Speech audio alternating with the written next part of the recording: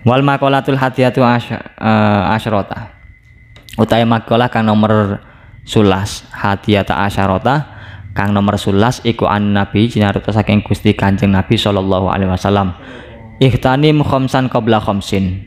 Ihtanim ngreksa sira utawa nglakonono sira khamsan ing limang perkara qabla khamsin ing dalem sedurunge limang perkara. Ai if'al tegesi agawe sira. Khamsata asyain ing limang perkara. Qabla husuli khamsin ing dalem sedurunge hasil limang perkara. E, qabla husuli khamsi halatin ing dalem sedurunge hasile lima pira-pira tingkah. Rupane sing pertama sababaka e, ing nom sira. Qabla haromika ing dalem sedurunge pekun sira di fathata ini kelawan fathah lurune hak karuro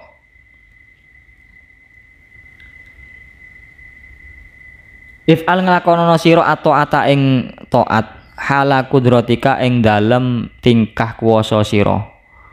Qabla hujumil kibri ing dalem qabla hujumil kibari ing dalem sadurunge tumekane mangsa tuwa. Alaika ing ngatasé sira.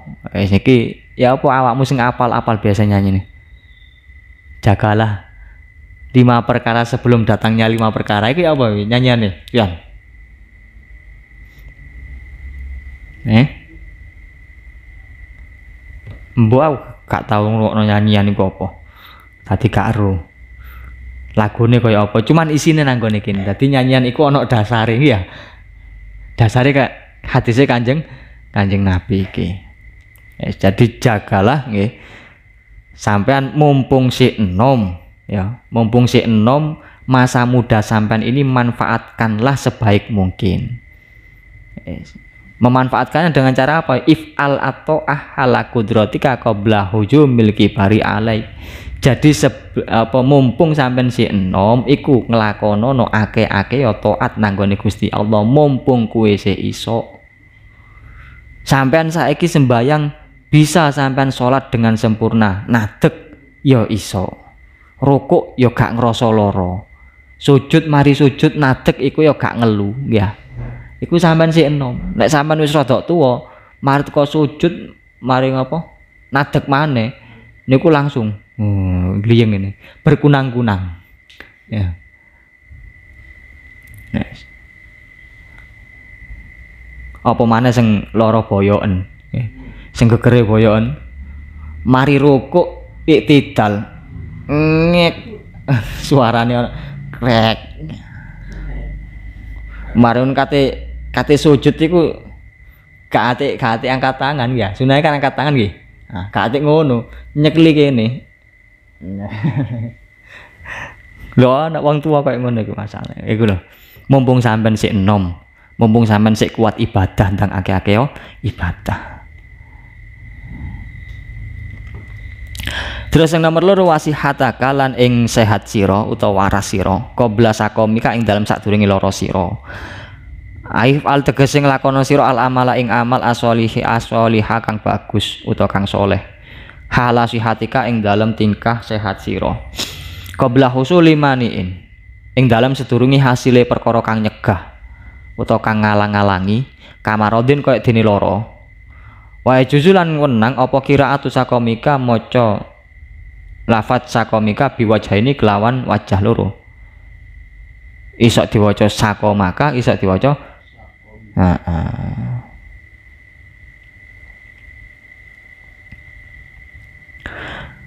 Bi fathata ini kelawan wacawan fathah loro ya sakomaka au bidhammin fasukunin utawa kelawan domah mongko nulis sukun berarti diwaca suk mika kena diwaca sakomaka kena diwaca suk maka utawa sakomika suk mika. Li anna riwayata krana sak temene riwayat iku lam tu lam ora den weruhi apa riwayat. Wal ihtiyatu utawi ngati-ngati iku ayakra'u iku ayakra yen to maca sapa wong. Bihima kelawan karone wajah loro al badali ing atase dadi badal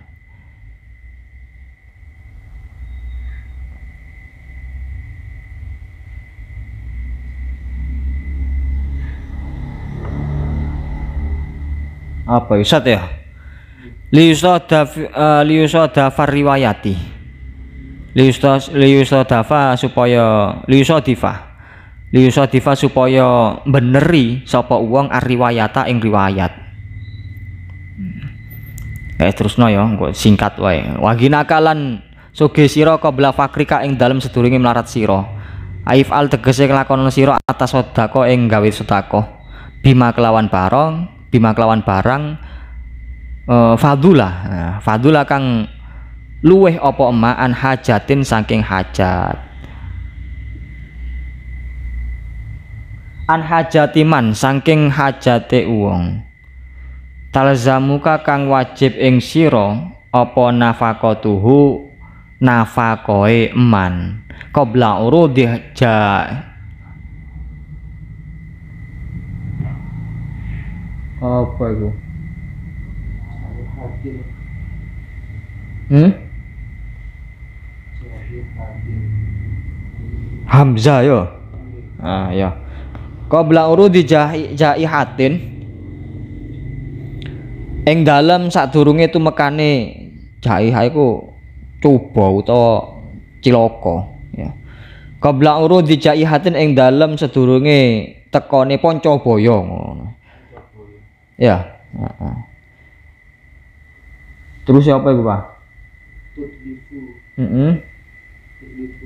malaka.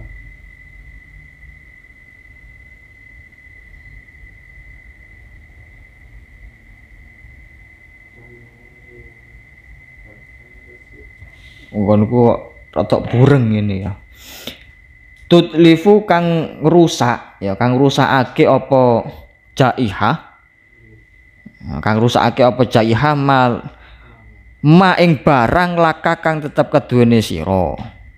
Utawa malaka ing bondo sira ngoten. Malaka ing bondo sira. Fatasiru mongko dadi sapa sira iku fakiron wong kang fakir fidaroin fidaroini ing dalem donya lan akhirat. Ya nomor dua dan nomor tiga niku sampean mumpung sampean sik sehat ya sadurunge sampean loro ndang gagih lakonono amal sing apik. Wis ngoten tok. Mumpung durung loro lakonono barang sing manfaat. Terus mumpung sampean sugih Ya, mumpung sampean masih mampu, sampean iku ndang ake-ake oh soda sodako. Kok umpama mulai teko awal wis melarat sampai saiki pancet melarat ya napa? Ya wis suku syukurono. Ngoten mawon wis.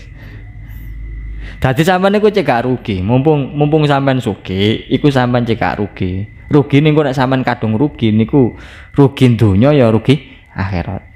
Karena kekayaan itu tidak kekayaan yang ada di dunia itu tidak selamanya, nggih. Mesti mesti ku ngeten. Nek gak dunyane sing kerasan ya wonge sing kerasan. Utawa nek gak dunyane sing gak kerasan wonge sing gak kerasan. Artinya apa? Nek gak bondoe dhisik sing ilang ya wonge dhisik sing ilang. Bisa jadi nek bondoe dhisik sing ilang wong iku bang bangkrut. Bisa jadi kalau misalkan orangnya yang tidak tidak bisa bertahan wongi mah mati. Pabrik durung dadi wongi wis mate. Akhirnya dunyane dipe ahli waris. Lah mumpung sampean dadi wong sugih iku ndang sedako, sedako. Aja ate ngenteni Oh ndolek wong fakir yang harus seperti ini seperti ini karakternya orang miskin orang karakternya orang yang menerima sodako itu seperti ini gak nemu karakter itu gak sodako oh blind kan Oh, nggih niku nggih. Tapi nek fakir mulai teko awal sampai sak terus kok fakir, niku nggih suku syukurono. Wis. Aja kuwatir rek. Wong fakir niku merupakan orang yang dicintai oleh Kanjeng Kanjeng Nabi. Sampai nek wis dicintai karo Kanjeng Nabi niku mesti katut nanggone swargane. Nah, umpun diyakini ngoten maneh. Nggih, diyakini ngono. Dan setiap ucapannya Kanjeng Nabi itu mesti ben, mesti bener. Oh, husnudzon lho nangone pangeran niku husnudzono. Ya, husnudzon kepada Gusti Allah.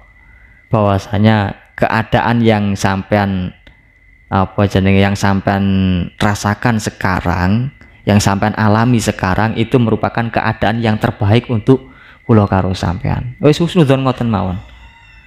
Terus ngoten ngoten. Eh icai ngompol icai ngompol ya yes, titik gas wahayataka wahayataka lan urip sira qabla mautika ing dalam sedurunge mati sira. Tanim. Tegese apa jenenge ngalapo untung sira mak ing barang tulfi kang nemu sira nafahu ing kemanfaatane ma ba'da mautika ing dalem sadurunge mati sira. Eh, gak kelamben. Eh, ayo pakai baju dulu ayo kelambenan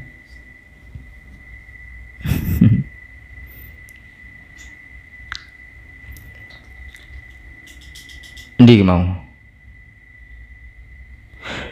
Fa inna ma fa inna fa inna man. Mongko sak temene wong iku mata mati sapa oman hmm. fa inna man mongko sak temene man iku mata mati sapa oman ing kotoah ing kotoah mongko pegot apa amaluhu amale eman. Wa faragha wa faragha kalan nganggure sira wa faragha kalan nganggure sira qabla suhulika ing dalam sedurunge kesibukan sira. Bi fathishini kelawan fathaisin syahlika. Ngoten nggih. Aitanim tegese ngalapo untung sira faragoka ing nganggur sira fi hadhihi dari ing dalam ikilah oma qabla syahli qabla syahlika ing dalam sedurunge sibuk sira bi ahwalin kelawan pira-pira pekewo bi ahwal kiamati kelawan pira-pira pekewo kiamat bi awal kiamati kelawan pira-pira pekewo kiamat eh.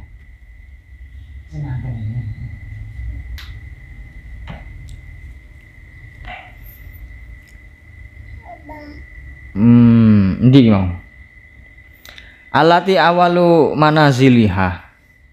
Kang utawi kawitane panggonane kiamat iku al-qabru kuburan. Kaza iku koyo mengkono-mengkono keterangan nakolahu mindah ing za sapa al-azizi kiai sapa al-aziziu kiai aziz anil manawi saking kiai manawi fahadhi mongko utawi ikilah limo al satu kang limo fahadhil satu mongko utawi ikilah kang limo iku layu rafu ora den weruhi apa qadruha kira-kirane khamsah. Illa ba'da zawaliha ing dalem sakwise ilange khamsah.